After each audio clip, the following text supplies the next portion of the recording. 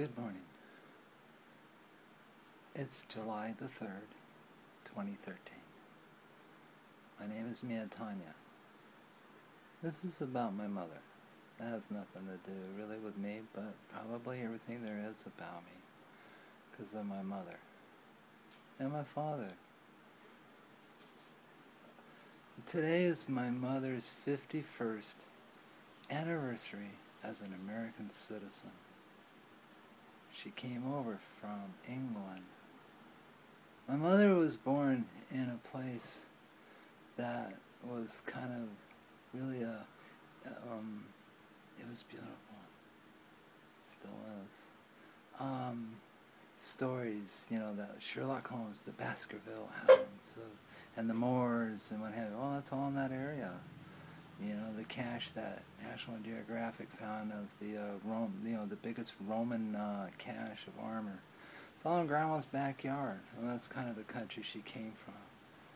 She was alive during World War II. She remembers the stuff. They were up north, not really a lot happened, but when it did, it really got exciting. Um, different stories that woman had of that country.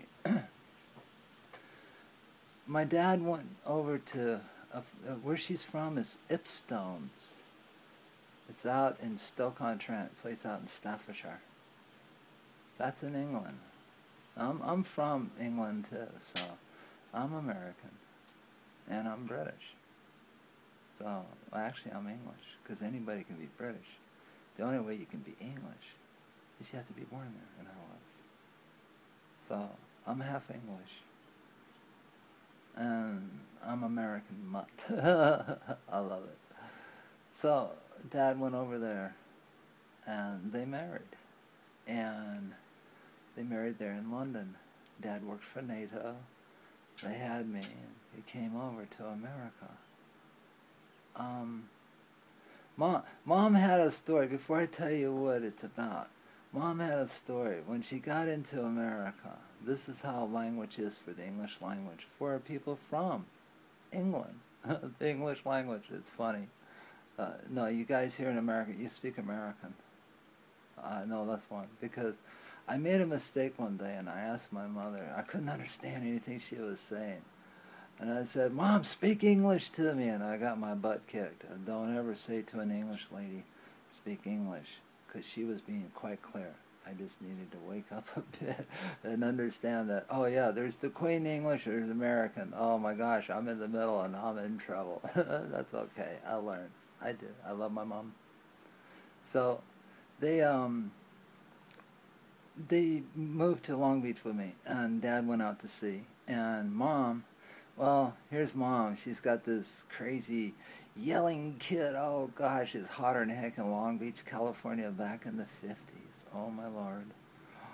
Oh, this poor girl, and she's blonde. She's a bombshell. Oh my, my God, my mom's beautiful. I'll, I'll put some pictures of her, you know, of her up here. Um, and she, uh, she had to go to this, uh, uh, the drugstore, and she wanted, what would you say in America, a baby bottle? I've heard them all. Come on. Yeah, okay. Let's cut to the chase. So she looks at this poor American pharmacist and she goes, I need a titty bottle. And the poor man, he didn't know what to do. oh, well, finally they had to calm him down. he lost it. Well, it's pretty funny.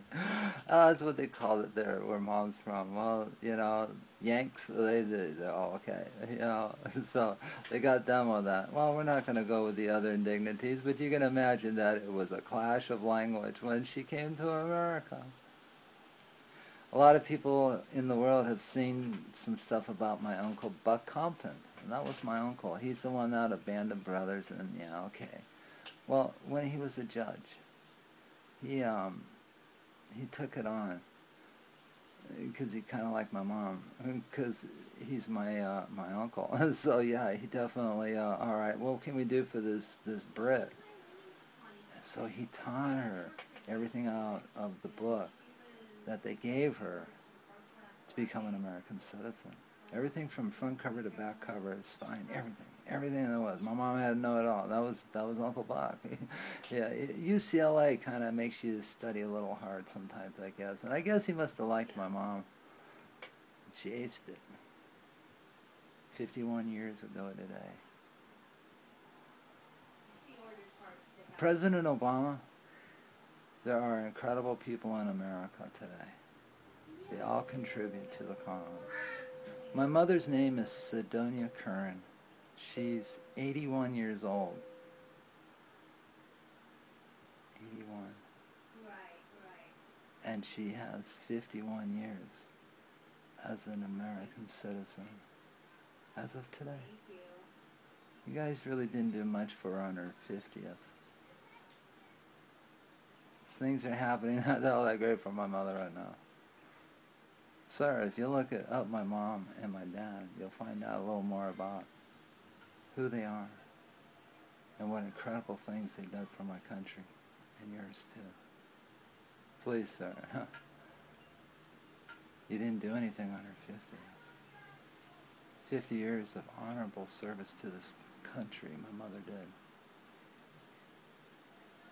Honorable service for this country, sir. A Navy wife. She stayed married to my father. My father died in my mother's arms at home. A Navy man, honorable.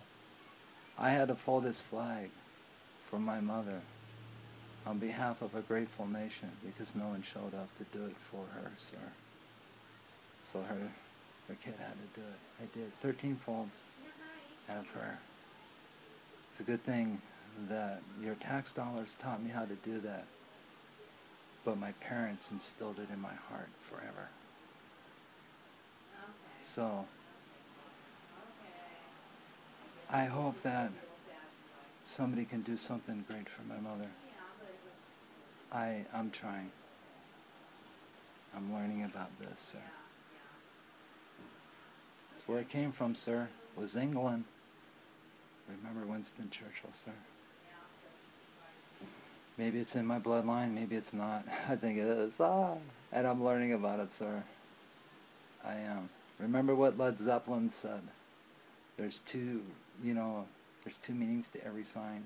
I want to keep it this way, sir, please. So, on behalf of my mother to this nation, thank you for allowing her the freedom. Mom, on behalf of a grateful nation, that's all I can do for you, Mom.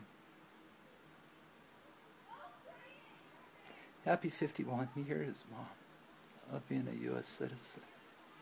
Thank you for teaching me this. Maybe you guys can get it too. Thank you. I love you all, America.